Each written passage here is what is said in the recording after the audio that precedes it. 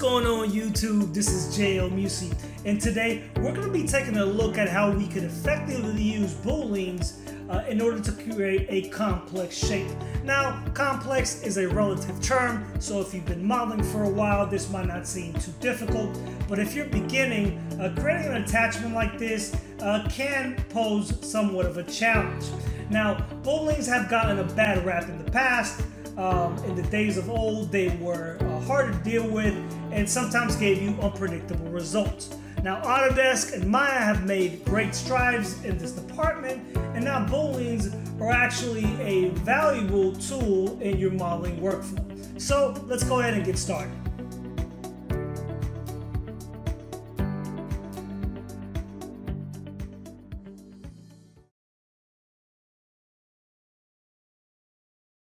I'm going to go ahead and start out with uh, one cylinder here and stretch it out. And then uh, I'll add a second one, rotate it 90 degrees, I'll move it up, scale it down some, and then make sure they go ahead and intersect. Uh, for the second cylinder, I'll go ahead and give it a slight rotation. Turn on my wireframe on shaded I went ahead and added three edge loops here to section off some of the edge flow work that we're about to do.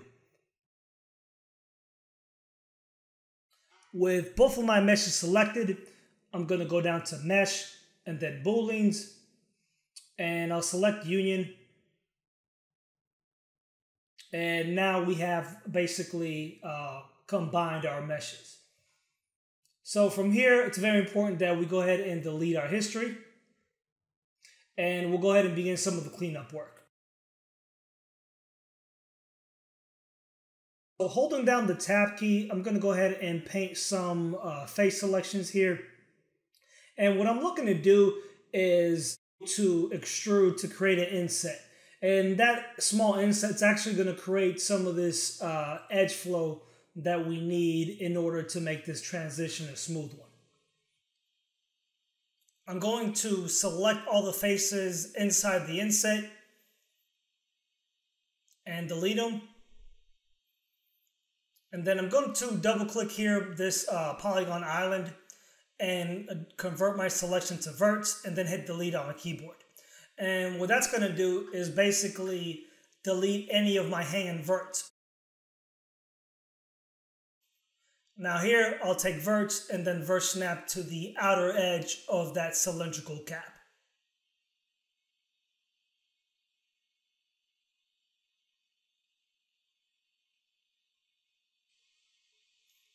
I'm going to select all my verts here and do a merge verts with a low tolerance.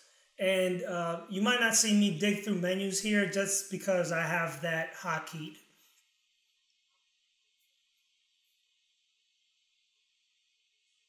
So looking around my mesh here, uh, I discovered that by accident, uh, I deleted uh, this back face. So what I'm going to do is uh, I'm going to select both the outer edges and I'm going to do a bridge.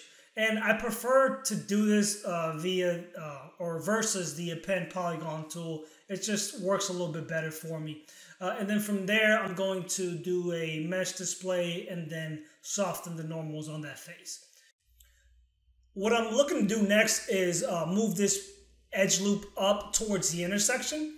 So I'll hit D on my keyboard and that will enter me into edit pivot mode. From there, I can hold down control and orient the pivot uh, up along one of these edges that's slanted towards the way that I want to move. I'll go ahead and go back to my move tool and I'm able to move that edge accordingly. So I'm going to adjust the uh, top edge as well and move it down and I'm going to start adding some reinforcing geometry to hold the shape since uh, I will be uh, modeling this for sub Ds.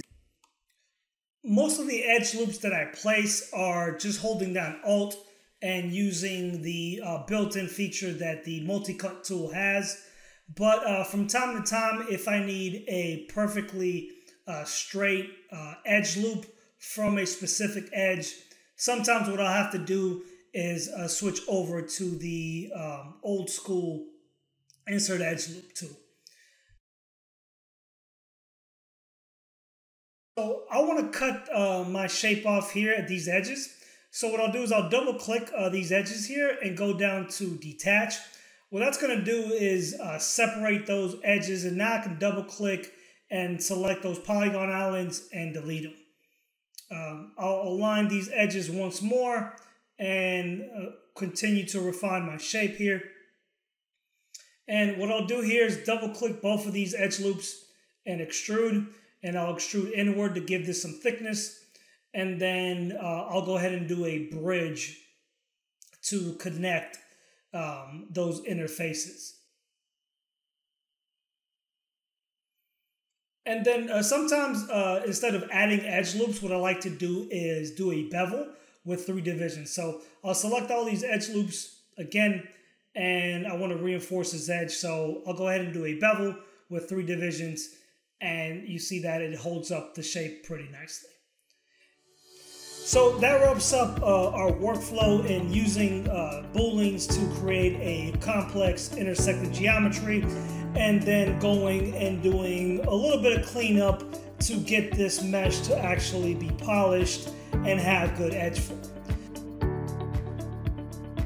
Smash that like button if this video was valuable to you uh, definitely drop me a comment. Uh, I'd like to hear you guys' feedback, inputs, and alternative uh, workflows that you might have in situations like this. And don't forget to subscribe to my channel. Thanks for watching, and I'll see you in my next video.